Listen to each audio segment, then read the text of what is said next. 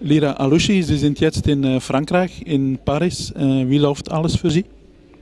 Ähm, ja, es läuft sehr gut. Ähm, ich fühle mich sehr wohl hier. Ähm, ja, äh, wir haben bis jetzt ein Spiel verloren und das war halt auch in der Meisterschaft gegen Lyon. Und äh, heute Champions League unschieden, damit können wir leben. Jetzt müssen wir halt einfach nur nächste Woche halt äh, es best noch, noch ein Stück besser machen als heute. Und äh, dann denke ich mal, haben wir ganz gute Chancen. Heute haben Sie ein Riesenspiel gemacht. Gute äh, Sache, auch ein schönes Tor.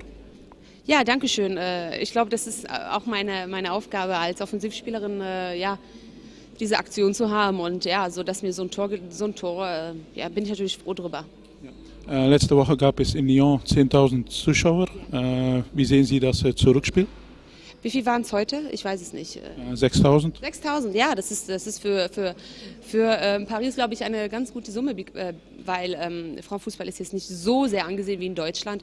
Ich glaube, wenn in Deutschland äh, in der Champions League äh, Frankfurt gegen äh, Wolfsburg spielen würde, dann glaube ich, würden auch über 10.000 kommen. Aber ähm, es wird, es wird immer besser. Trotzdem hat's, äh, war heute eine gute Stimmung da.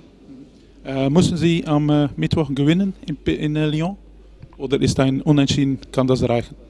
Äh, natürlich ein 0-0 wird nicht reichen, äh, aber äh, ein 2-2 oder ein 1-0 reicht auch. Und Sie haben da Auf jeden Fall müssen wir, müssen wir ähm, ein Tor schießen und äh, ja, hinten die Null halten. Sie haben auch schon einmal mit äh, Duisburg äh, lange her äh, Lyon ausgeschachelt. Wie sehen Sie das jetzt? Ja, das ist halt Vergangenheit und äh, darüber ähm, denke ich nicht nach, um ehrlich zu sein. Äh, jede Mannschaft entwickelt sich weiter. Lyon hat sich auch, hat sich auch wieder wei weiterentwickelt. Die spielen, als würden die schon jahrelang zusammen spielen. Äh, Wirklich äh, ist eine sehr starke Mannschaft. Und wir, wir brauchen noch unsere Zeit. Aber ich denke mal, ähm, es ist jetzt an der Zeit, dass Paris jetzt auch mal äh, äh, Lyon schlägt. Äh, dann haben Sie auch mit Deutschland in, am Ende des Monats äh, ein Riesenspiel Ja. in äh, Wembley. Wie sehen Sie das, um da zu spielen?